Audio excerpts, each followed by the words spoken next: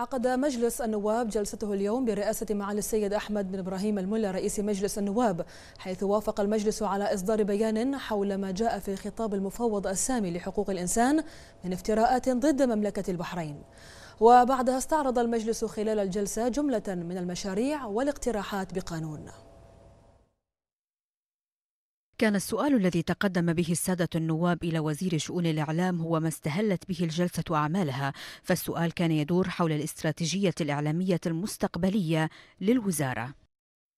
من خلال آه، آه، جواب الوزير في الجلسة آه، في الحقيقة جاوب على السؤال وأعطاني جواب شافي ووافي لسؤالي. ولكن من خلال رده الكتابي لم يكن جوابه شافي ووافي. بالتالي يعني اضطريت إن أنا يعني أهاجم رد الوزير على سؤالي المكتوب. في الحقيقة مجلس النواب داعم رئيسي الإعلام في مملكة البحرين ونحن كلنا في مركب واحد لمصلحة مملكة البحرين. وأنا أعتقد بأن الإخوان في وزارة الإعلام وعلى رأسهم سعادة الوزير يقومون بجهود مشكورة وجهود جبارة في سبيل الحفاظ والمحافظة على المكتسبات والدفاع عن مملكة البحرين. سعادة وزير شؤون الإعلام وضع بين يدي المجلس بعضا من ملامح الاستراتيجية الإعلامية موضحا بأن الإعلام البحريني اليوم لديه القدرة للتصدي لجميع الحملات التي تشن ضد مملكة البحرين. بعد سؤالكم آه، بأيام صدر مرسوم بتشكيل المركز الوطني للاتصال وهذا المركز آه، لأول مرة ينشئ آه، في المنطقة وفيه خمس إدارات متخصصة في هذا الموضوع. هناك محاولات لجر الإعلام البحريني آه، لتغطية آه، بعض الأحداث لإظهار بأن الوضع غير مستقر. وهذا الأمر لن يحصل. المعادلة الآن رجال الاقتصاد يتمنون يشوفون الصورة الواقعية واللي هي تشكل أكثر من 99% من واقعنا في الشارع. آه، البلد لله الحمد آه، مستقر. بالنسبة للخطة الإعلامية أنا ما حبيت أني آه، أرسل لكم الخطة الإعلامية لأنها لم تعتمد لحين ما يطلع المرسوم بتشكيل المركز الوطني. الخطة الآن مكتوبة وجاهزة وأنا على استعداد تام إن شاء الله أزودكم فيها. بس لأن السؤال يعني في 30 11 قبل صدور المرسوم بتشكيل المركز الوطني.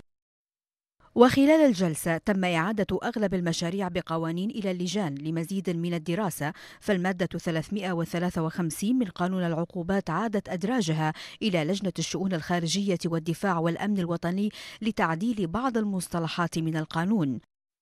قد وافق المجلس آه، على المشروع وذلك بالتغيير اللي حصل بالنسبة حق المادة الأولى وتغيير آه، بعض الألفاظ التي توافق مع المشروع آه، وهو يهدف إلى التصالح وفي ذات الجلسة قرر المجلس الموافقة على إعادة مشروع قانون بتعديل بعض أحكام قانون الشركات التجارية إلى لجنة الشؤون المالية والاقتصادية لمدة أسبوعين لمزيد من الدراسة. المشروع تكون أن آه، في أحقية الحكومة أن لا تمتلك أزيد من 30% من كل الشركات المنضوية تحت الحكومة واللي إحنا نخص بالأخص هي الشركات المملوكة لممتلكات اللي هي 48 48 شركة. آه، الهدف من من من هذا المشروع لإيجاد نوع لإيجاد آه، سيولة مجلس النواب وبالرغم من قرار نظيره مجلس الشورى برفض مشروع قانون بشأن إنشاء وتنظيم صندوق دعم الصيادين البحرينيين إلا أنه تمسك بقراره السابق بالموافقة على المشروع وإعادته إلى مجلس الشورى. تم التمسك بقرار لجنة المرافق آه، وهو آه، دعم صندوق للصيادين المحترفين آه، بعدما أتى من مجلس الشورى بالرفض. وأغلب مبررات الرفض آه، غير مقنعة. وفي تقرير آخر للجنة الشؤون المالية والاقتصادية بخصوص التعديلات التي طرأت على مشروع قانون ديوان الرقابة المالية والإدارية قرر المجلس الموافقة بصفة الاستعجال وإحالته إلى مجلس الشورى. في تعديل مهم في قانون آه، الرقابة المالية وهو وجوبية تحويل متجاوزين إلى النيابة العامة بدل من جوازية تحويلهم.